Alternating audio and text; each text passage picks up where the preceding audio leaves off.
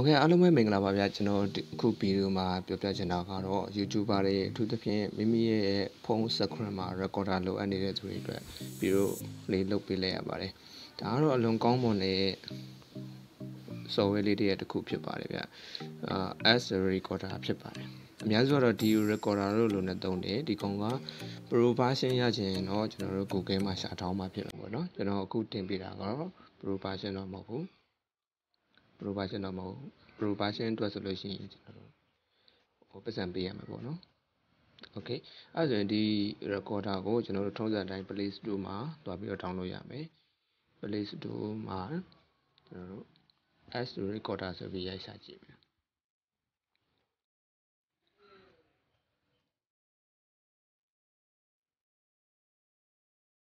sorry ကျွန်တော် internet မဖွင့်ရ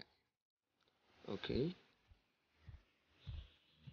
S recorder เนาะဒါအရင်အဆင်ပြေတယ်ဟိုလက်လွှင့်လို့လည်းရတယ်အများကြီးပေါ့နော် DU recorder ပုံစံအတိုင်းပဲပေါ့နော် DU recorder ကိုလည်းရိုက်ရှာကြည့်မယ်အများစုသုံးကြတာကတော့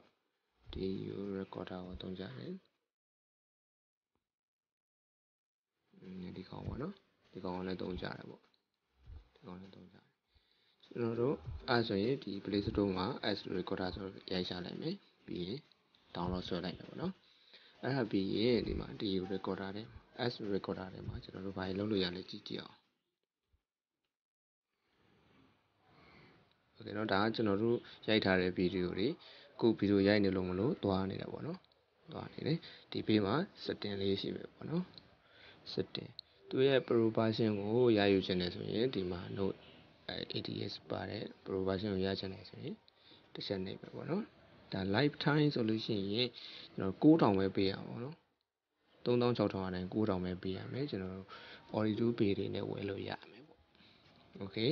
ဒါဆိုရင်ဒီထက်မှာကျွန်တော်တို့လုပ်လို့ရတဲ့ setting လေးပေါ့နော် quality resolution နော် resolution ကျွန်တော်ကခု record လုပ်နေတဲ့အတွက်လုပ်လို့မရဘူးပေါ့နော် resolution က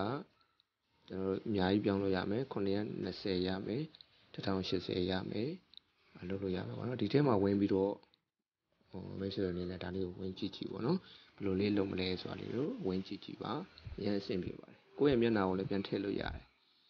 ဒါလေးတွေတက်ထားတာဒါလေးတွေပြုတ်ထားတာဆိုရင်ဒါဆိုလို့ရှိရင်ဒါလေးစာစက္ကန့်ပေါ်မှာစာရေးတဲ့ဟာလေးတက်ဖို့ဆိုလို့ရှိရင်ဒီ brush ဆိုတာလေးကိုနှိပ်လိုက်မယ်အဲဒီမှာတက်လာရင်ကျွန်တော်တို့စာလေး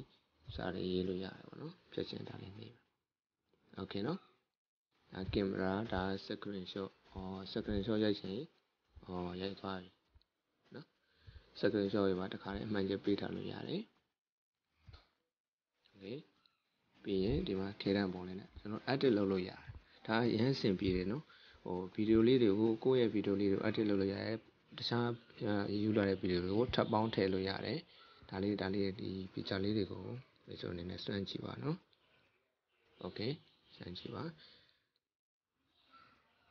ဒါဆိုရင်အခုဗီဒီယိုဖိုင်သင်ခန်းစာမှာကျွန်တော်တို့ဒီ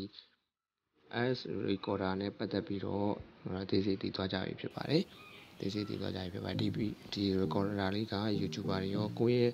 ကိုရှင်းပြချင်တာတခုခုရှိလို့ရှိရင်အသုံးအရန်တဲ့တဲ့ဗီဒီယိုလေးတခုဖြစ်တယ်ပေါ့နော်ဒီ software လေးတခုဖြစ်တယ် edit လုပ်လို့ရှိရင်လည်းဒီထဲမှာပဲဆက်ပြီးတော့လုပ်လို့ရတယ်ပေါ့နော် edit လုပ်ရှင်ဒီခေတ္တလေးကိုနှိပ်ခေတ္တလေးကိုနှိပ်ပြီးတော့ကျွန်တော်တို့ဒီမှာအများကြီးပဲ လုပ်လို့ရတယ်လုပ်လို့ရနော်။မာရီတိုတွေကိုလည်းပြောင်းလို့ရတယ်။ကိုကဘယ် site မှာထားကြတာတော့ Instagram မှာတင်မဲ့ပို့လား။ဟောဒီလိုလေး YouTube မှာတင်မဲ့ပို့လား။နော်။အများကြီးအများကြီးပြောင်းလို့ရတယ်နော်။အများကြီးပြောင်းလို့ရတယ်။ Facebook ပို့လား။အများကြီးပဲနော်။ပြောင်းလို့ရတယ်။ပြောင်းလို့ရပြီးရင်ဒီအမှန်ချက်လေးနှိပ်လိုက်။နောက်ပြီးတော့ scroll လုပ်လို့ရတယ်။ကိုယ့်ရဲ့ဗီဒီယိုဖိုင်ကိုဒီလိုမျိုးလေးဓာတ်ပုံတွေကို scroll ပြင်တယ် လို့ scroll ဆွဲတယ်လို့ဆွဲလို့ရတယ်။အော်ဒီမှာဒီစာသားကိုဖျောက်ချင်တော့ကျွန်တော်တို့ lifetime အကောင့်ကိုဝယ်မှရမယ်ဗျ။ဒီဘက်က rotate rotate ကဆိုတာကဒီ screen ကိုဘယ်လိုထားမလဲဆိုတော့လှည့်ပြတာပေါ့နော်။လှည့်ပြတာဖြစ်တယ်။ဒီအပေါင်းလေးကိုနှိပ်လိုက်လို့ရှိရင်ကျွန်တော်တို့ထပ်ပေါင်းထည့်လို့ရမယ့်ဗီဒီယိုလေးကိုပေါ်လာတယ်။တပ်ပုံထည့်ပေါင်းချင်တာလားတပ်ပုံထည့်ပေါင်းရင်တပ်ပုံနှိပ်လိုက်လို့ပေါ့နော်။ဒီတပ်ပုံလေးထည့်ပေါင်းမယ်ဆိုရင်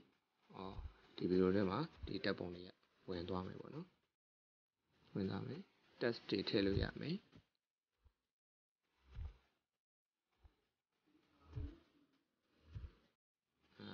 text တွေထည့်လို့ရမယ်ဒါကျွန်တော်တို့စာသားတွေပေါ့နော်စာသားတွေထည့်လို့ရမယ်ဒီမှာကျွန်တော်တို့ထည့်ထားတဲ့စာသားတွေကိုဒီမှာပေါ်ပြမယ်ပေါ့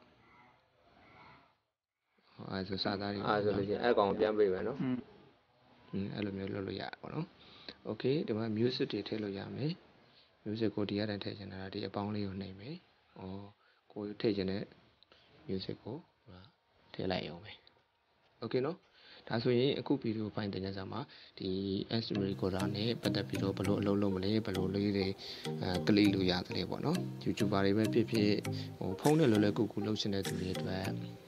အာအရင်အဆင်ပြေတဲ့ software လေးဖြစ်ပါတယ်ဗျာ။ Okay အားဆိုရင်တော့အားလုံးအဆင်ပြေကြပါစေလို့ဆုတောင်းလိုက်ပါတယ်။နောက်ပြီးတော့မှပြန်တွေ့ကြပါမယ်။ Thank you ပါ။